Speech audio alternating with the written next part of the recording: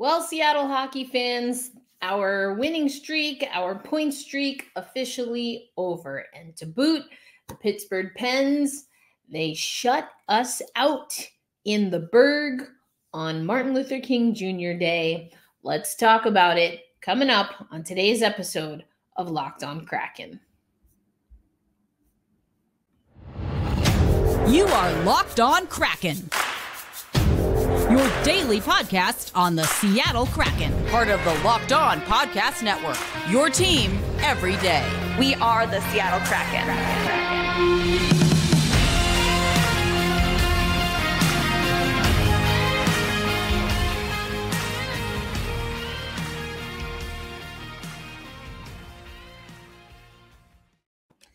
Hey, hey, what do you say, Seattle hockey fans? Welcome to another episode of Locked On Kraken, part of the Locked On Podcast Network, where we bring you your favorite team every single day. Erica L. Ayala here, your host of Locked On Kraken.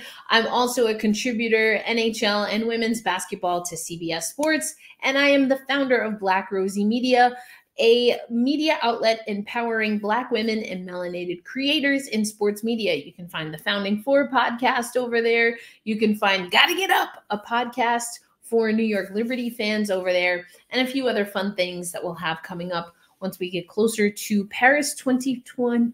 Paris 2024, excuse me, summer Olympics. I want to let you know that today's episode of Locked on Kraken brought to you by our friends at FanDuel.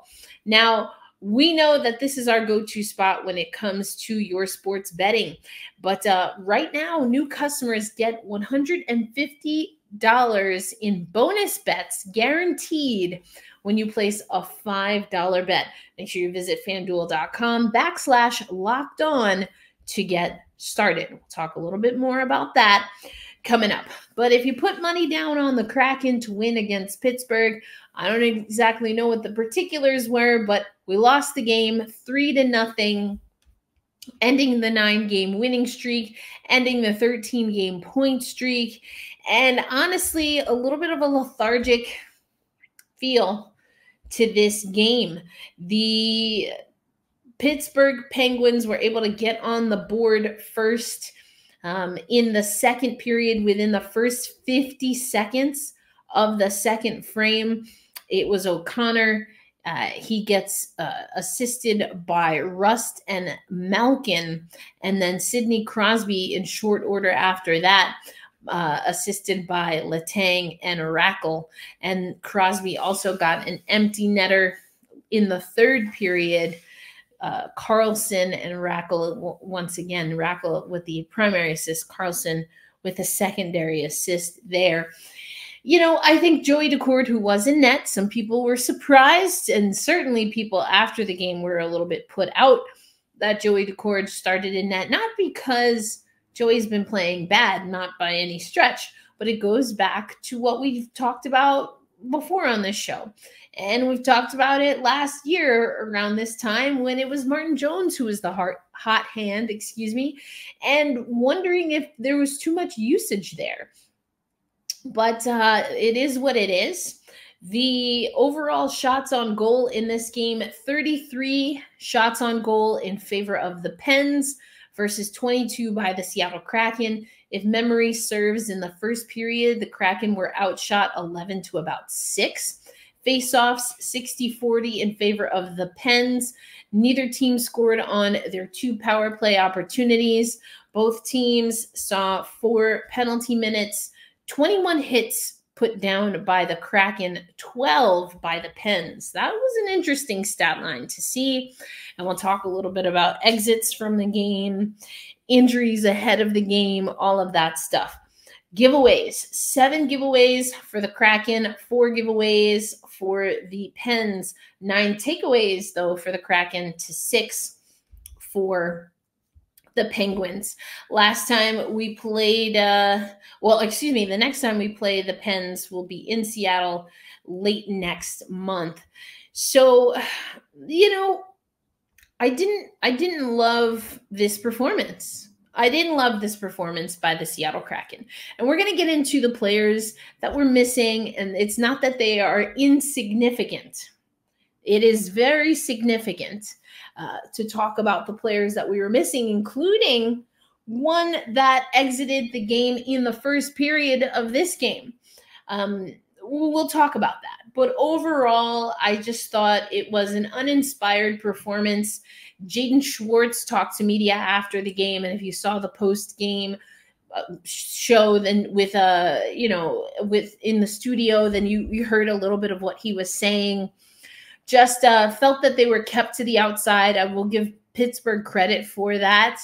The Seattle Kraken just really couldn't get anything going. I'm not mad per se. Uh, you know, it's bound to happen, but it just it just was unfortunate. You don't want to lose, and I, I just don't know that the guys, you know, really showed up. But it's understandable. It's been a long road trip already in week two of that road trip, and have a and, and on the back end of a road trip, you have a back to back Pittsburgh today. It was an afternoon game. They still have to travel to New York. There's been a little bit of weather. Uh, be, it's it's well beyond sweater weather on the Northeast. I mean, Nashville got hit. I guess that's well, I still consider Nashville more east than west, but I suppose that's all relative. But um, you know, I guess what I'm saying is, if this game had come among a cluster of losses, I think I would have felt differently. It's coming in a cluster of wins and you don't like the streak to be ended. You want the guys to go out and perform. Sorry, I have something in my eye. Woo! You want the guys to go out and perform at a level where they've been meeting success. It just didn't happen. The concern that I have more so about the performance tonight is what are we going to see tomorrow? And we know that Ryker Evans was on this trip and we were expecting some lineup changes, but now they are absolute. There will absolutely be lineup changes, not just for tomorrow's game in New York, but for how long after that. And that's a little bit of the concern right now. So let me show you some of the game flow chart and the heat map. And then coming up after that, we're going to talk about some of the injuries. And they stem from the Columbus game, maybe even an illness running through the team. And then we'll close out the show. You'll hear from Dave. You'll hear a little bit from Jaden and Ryker. And then also, apologies for the show that went out on the weekend. I was supposed to give you some Tye Kartye content that will be coming out tomorrow. So a little sub episode. I'll let you know about tomorrow later. Um, but let's first go to um, just uh, we're going to go to natural stat trick and i want you to see the game flow chart that you can see up here if you're watching on youtube i'll explain it for anyone not watching on youtube but you can see the game flow here the Seattle Kraken, they're on the bottom part of this graph. They're outside of one little blip in the first period. This game is all above the horizon line, so to speak. So Pittsburgh, in a big way, commanding this game. You can see the the little golden blips here. Those are their goals that they scored again almost immediately into the second period. And then the empty netter, even as we are getting to the 10 minute mark, the six minute mark, Eddie Olczyk was on the uh, broadcast and had a lot to say. I know a lot of people also were talking about officiating didn't seem consistent. There was the second goal where Joey, I think, felt that he got bumped. And looking at the replay, and they even talked about this on the on the broadcast. I was listening, of course, to the Kraken feed. Don't really know that we saw too much there, but Joey was pretty adamant. So uh, we didn't hear from him, at least not from the videos provided from the team about that. So, you know, who's to say? But I want to take a look at this heat map here the Seattle Kraken, and you know, I, I regret that I haven't done this more consistently during their winning streak. So we might have to do a little retro, uh, retroactive look there. But I mean, the slot, nothing active in the slot. I mentioned that Jaden Schwartz after the game said he felt that the Kraken were being pushed out to the perimeter. I mean, this shows it you have a little bit of activity in front of the net, but nothing dangerous. None of those blue pops on the heat map. You see that some of the blue, which is the high high traffic for the Kraken, it's coming out well above the circles on either side. This little corner if you're looking at the top, so that would be if as the Kraken are entering the zone, that's on their right side. That's not enough, especially considering if you look at the heat map for the Pens, a lot more activity in front of Joey Daccord, who started. You can see on their zone, it's within that uh, left circle that they're having a lot of, of success heat map strong there, but then also they're moving through the slot. The Seattle Kraken, there's a lot of blank space. There's no activity in some areas of the slot. So good on the Penguins, but the Seattle Kraken are going to have to figure that out. I don't think the movement, the puck movement, the passing wasn't crisp. It wasn't particularly sharp. So, again, a lackluster performance. Do I understand it to an extent? Sure. Am I disappointed? A little bit. Would is this a bad loss? Within the context of the winning streak, no. If this was a loss at another point in the season, we might feel differently. And so I just want to add that context because again, do I feel it's a bad loss for right now? It's unfortunate. I don't think it's it's certainly not the worst game I've ever seen them play, but it was um it was certainly among the the less exciting and less mm, it was it was one of the the the the bottom games in a in a 10 game streak you know, because you can play well in a loss and still lose. You can pay, play poorly in a win and still win. This was just mm, kind of a deflated looking Kraken team. But let me know in the comments what do you think about tonight's game? I give you my two cents. If you're watching on YouTube or find us at Locked On Kraken on social media and let me know what you think about the game. We're going to talk about, ooh, another one bites the dust. And I wish I could just talk about the Queen song, but we've got to talk about the Kraken. That's coming up on today's episode of Locked on Kraken, which is a little bit different, giving you a post game recap as opposed to a game day episode. But don't worry, you'll get one of those preview episodes, which is also a squad cast tomorrow. So stay tuned. I'll tell you more about that coming up on Locked on Kraken. Today's episode of Locked on Kraken brought to you by our friends at FanDuel.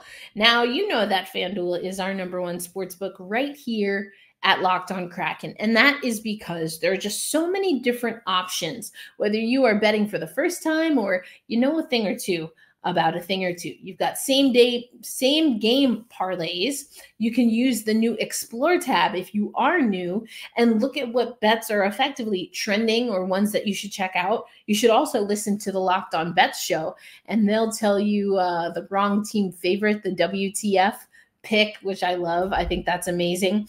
Uh, you can also make your parlays in the Parlay Hub, which is the best way to find popular parlays. And that's just a few of the offerings that our friends at FanDuel have. I do want to let you know that as the NFL regular season is wrapping up, it is effectively wrapped up. There's still time to get into the action with FanDuel, America's number one sports book. Right now, new customers get 150 in bonus bets guaranteed when you place a $5 bet. That's right, a $5 bet, and you are guaranteed 150 in bonus bets. So visit fanduel.com backslash locked on to make your first bet a layup. FanDuel, official partner of the National Football League.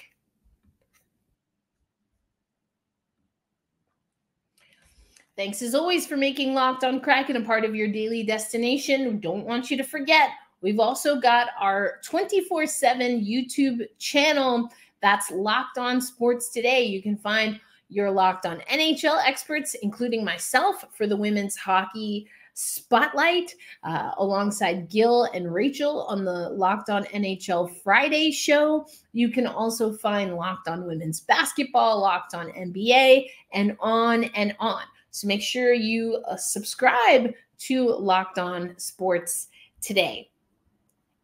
Not what we wanted to see, you know, and, and not the fight that we have been seeing from the Seattle Kraken squad. But it's worth noting before this game, Andre Burakovsky out, Matty Beniers out, Vince Dunn out. And I want to let you know um, we'll, we'll talk a, a little bit um, about the Rangers game, but we just got the notes as I'm recording today because again, this is a recap episode, not a preview episode. But in the game notes for tomorrow's game, we have, of course, Philipp Grubauer. We know um, no designation. He's on the injured reserve. Pierre Edouard Bellemare, we know he's on the injured reserve. Matty Benier, also no designation, one game day to day. So we'll see if he's available for tomorrow's game in New York. Andre Burakovsky, no designation, one game day to day. And Vince Dunn, no designation, one game day to day. Now, this doesn't list, this did just come out. So after the game against the, the Penguins, it does not list Adam Larsson, but he did leave Monday's game with what Dave Hakstol called an illness. And I want to play this for you. It's a little over a minute long, but it's Dave Hakstol talking um, about that it's perhaps not just Larsson that wasn't feeling well. Here's Dave after the 3 nothing loss to the Pens on Monday night cited maybe energy being an issue leading to some of the sloppy execution. Is that pretty much in line with what you saw today? Well, for sure, we had some guys that were a little bit under the weather, so that you know that affects uh, you know some of the players in in the lineup with energy. Um, you know that's that obviously doesn't affect everybody in the lineup, but uh, we didn't manage the puck very well in the first period. Uh, neither and, you know, this is a team that pressures pretty well. They pressure hard. They have good sticks. Uh, we didn't come out of our zone as well as we needed to, and we definitely didn't enter into their zone. We didn't manage the puck well enough in the first period. That's where, you know, a lot of uh, a lot of the opportunities for them came from. They came right off our tape. Uh, a couple mistakes early in the second period, and uh, you know, and we're chasing the game from there when you lose basically your top D pair, just what goes into how you're juggling and managing the minutes of the rest of the guys? Well, it's five. You got five guys to go play. Those guys did a pretty good job. Um, you know, our, our, D did a pretty good job. The five guys that uh, you know that were uh, that were in tonight, um, we didn't manage the puck well enough up front. The guys specifically that came in to fill in for your injured players, how do you think they, they filled in, like Ryker Evans and? Uh, Ryker Ryker played a good hockey game tonight. Um, Adam Larsson didn't take a second period shift. What what happened there? Yeah, that's he he went out with an illness. Illness. Yeah. Do you have any updates you can offer on Andre Burakovsky or Matty or Vince? I don't. Uh, day to day on all three. On all three. Anything on Lars that day to day would you he, say Lars is? Well, he went out with an illness. Good. So there you go. Not much from Dave. You know, you get to know Dave a little bit. I think he was a little bit agitated after this game, said a lot of what we talked about in the first segment, just not really managing the puck, not forcing the issue, not getting into spaces to put up a good fight. It was considered per the post game analysis by the amazing Alison Lukan, Um, was considered a quality start on both sides. Uh, Joey made 30 saves and saw 32 shots, and all 21 pushed aside by the Penguins. Um, so, you know, uh, just. I, I don't really know what else can be said about this game. I don't want to take too much stock into the game because losses happen. You're not going to win all of them. This just didn't feel like a regular degular loss. You know, it, it, there was a weird vibe, and maybe it was that illness bug. But here's some good news. Um, I I think that it's important to have perspective.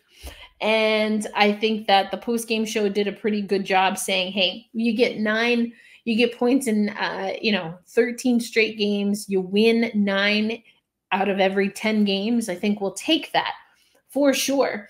And also, the Kraken ahead of tomorrow's night posted an 11 1 and 2 record in their last 14 games dating back to December 12th.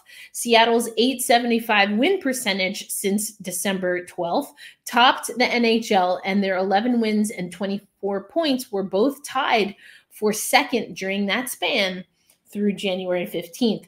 The Seattle Kraken did set a franchise record with nine consecutive wins between December 20th, excuse me, and January 13th. They got that ninth win, of course, against the Blue Jackets, which was an interesting game.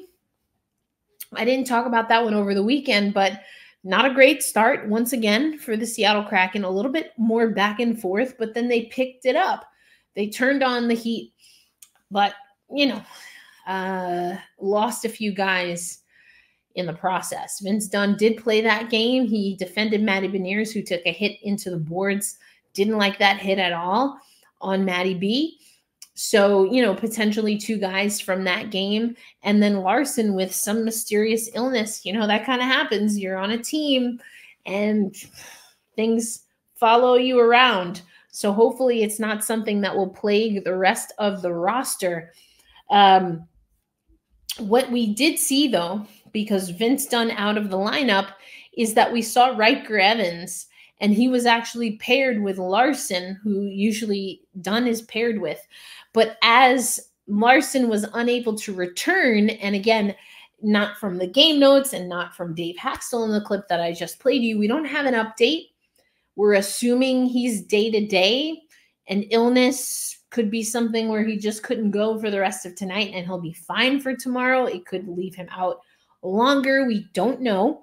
But Ryker Evans stepped in and kind of took on uh, you know, he he was the utility defenseman against the Penguins. Didn't see anything that stood out as far as something that looked bad from what Ryker was doing. He talked about, Uh, if anything, being able to rotate in multiple times was good in his return to the Kraken as opposed to thinking of it as a liability. He told Piper Shaw in the post game in the locker room. He also said that having those four games with Coachella Valley, he felt was good. So even though he hadn't been in the games with the Kraken, he went back to Coachella Valley and then had a few games on this road trip where he wasn't suited up. Felt that he didn't really lose a step, and I don't think that he did. You heard Dave, he was very limited with his comments just generally, but was asked about guys like Ryker who filled in. You also know that Devin Shore, of course, making that lineup. You had some changes with McCann switching. You know, he had been a center we, we've seen and switching things. So here we go on that carousel once again. But what I like about the Seattle Kraken is that they're not about to use this as excuses, which is critically important. Just got to play the game. And so I do like that the Seattle Kraken are taking it all in stride, even through the, do- the dog days of this season early on. And we might not escape them altogether. But I did think that the Seattle Kraken were able to have perspective and to know that at the end of the day, you're you're uh, dealing with the cards that you're dealt and you make the most of them. And so I do want you to hear from Jared McCann. Today's episode of Locked on Kraken is brought to you by our friends at Game Time. Now, I travel a lot. I'm on the road right now. Now, New York is a familiar city to me, but even in a familiar city like New York, or when I'm in Seattle, you want to be able to find the best deals on your downtime. And so when I'm not covering sports, yes, sometimes I go to sports events. I like to go to concerts. I like to go to theater performances, all kinds of things. But what I don't like is not finding the best price. And you shouldn't have to worry when you're looking to buy tickets for your next big event with killer last minute deals, all in prices, and the view from your seat. There is also a best price guarantee. All that you can find at Game Time. You've got the flash deals, the zone deals, and the Game Time guarantee goes as such. You find a ticket at an event, same section, same row. If you find it at a better price than what's listed on Game Time, you get 110% of your money back. Game deal Game Time also has hot deals and you can find ticket deals right up to the start of an event or even sometimes after an hour after it starts. It is the place to find last minute tickets. The zone deals that I mentioned, you pick the section and game time picks the seats for big time savings. So here's what we want you to do download the Game Time app, create an account, and use code locked on for $20 off your first purchase. Terms will apply, but again, go to the Game Time app, create an account, and redeem code L O C K E D O N for $20 off. Download Game Time today. Last minute tickets, lowest price, guaranteed. I just didn't think we executed well enough. Um, we looked a little tired at times. Um, just didn't have that same jump and, and energy, and um, just weren't able to make passes and execute and, and uh, get to the inside enough. So we got to rest up, uh, get some energy tonight, and um, be better tomorrow. Uh, yeah, I mean, obviously, when you're missing key pieces of your team, it's tough. You, we've done a good job all year of, of guys stepping in, and um, you know, I think tonight, like I said, we just we just didn't have that same jump. Looked uh, looked a little tired, and um, guys not feeling 100. percent I feel like throughout the season, you're gonna have some ups and downs, and um, you know, you got to ride that momentum while it's while it's there, and uh, keep building off of it. Some things to know about tomorrow's game. Jaden Schwartz has recorded four points, one goal, and three assists in his last four games. We love that for him since returning. Joey Daccord three stopped 394 of the 415 shots he has faced in his last 13 games. Not too shabby. Our all-star Oliver Bjorkstrand will enter tomorrow's game having totaled 13 points, four goals, and nine assists in his last 13 games. So we love that for him. And um, you know, Eeli Tolvanen totaled has totaled seven points, two goals, five assists in his last six games. He's only played 43 games this season. He has already set a career high with 17 assists this year. Tolvanen's 11 goals and 28 points are seven and three points shy, respectively, of tying his career best that he set last season. So we like that trajectory for Tolvanen. You know, I've been pretty high on that third line. So those are just some players to watch out for. Uh, you'll hear, of course, John and I talk about a few other players, including how some of the younger players are adjusting. But um, I think it has to be back to Kraken hockey. And so, yes, you'll hear me talk about the three F's on tomorrow's episode but as promised, I um but so for the rest of the week, we have a game day episode tomorrow. You'll also get that Tye Kartye bonus episode. You'll hear me talk with him effectively one on one. So that'll just be a little bonus episode. Thank you for commenting that I completely forgot to add that into the edit.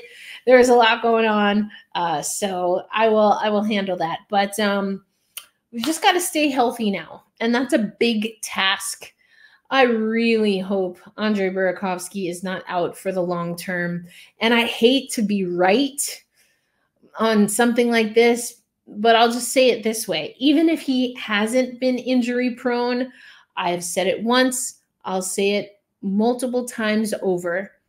It's looking like the Seattle Kraken, however you slice it, are not going to be able to rely on Andre Burakovsky alone to fix our offensive woes.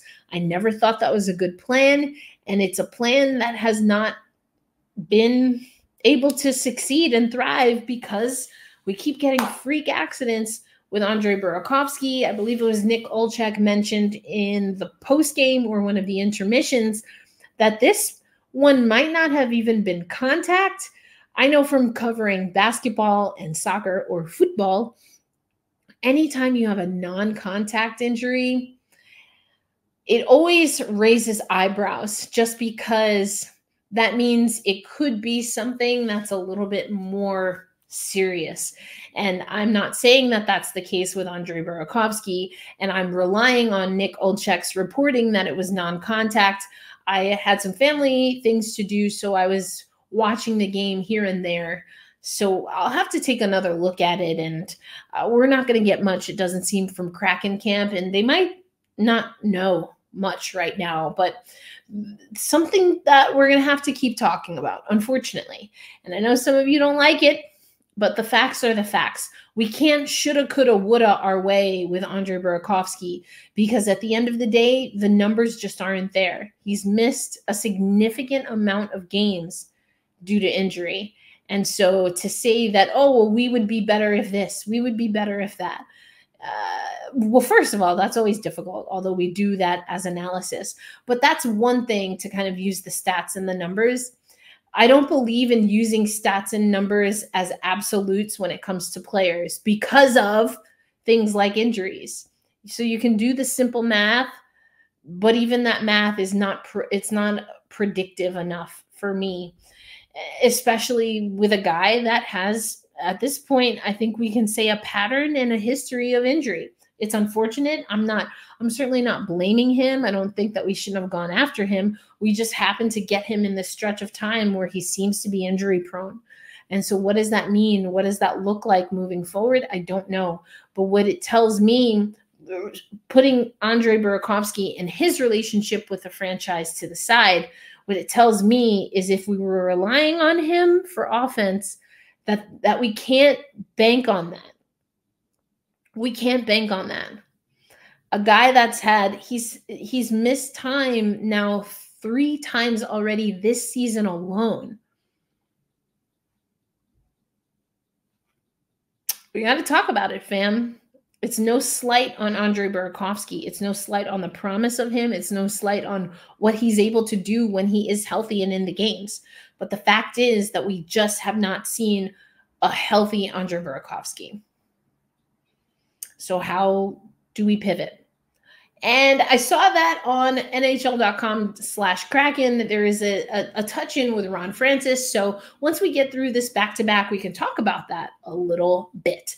But that's the end of this post game show on a Monday. Remember, I'll probably be looking exactly the same for tomorrow's episode, but it is a squad cast episode with John Chick. And stay tuned on audio and YouTube for that bonus material with Tye Kartye.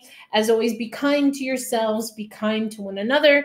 And tomorrow I will be at MSG as you, from wherever you're watching, will say, hold fast, stay true. And of course, loud and proud, let's go Kraken. Make sure you're following along on social media. I'll try to document as much as possible while I'm at MSG. And I will catch you on the next episode of Locked on Kraken. Peace out, everybody.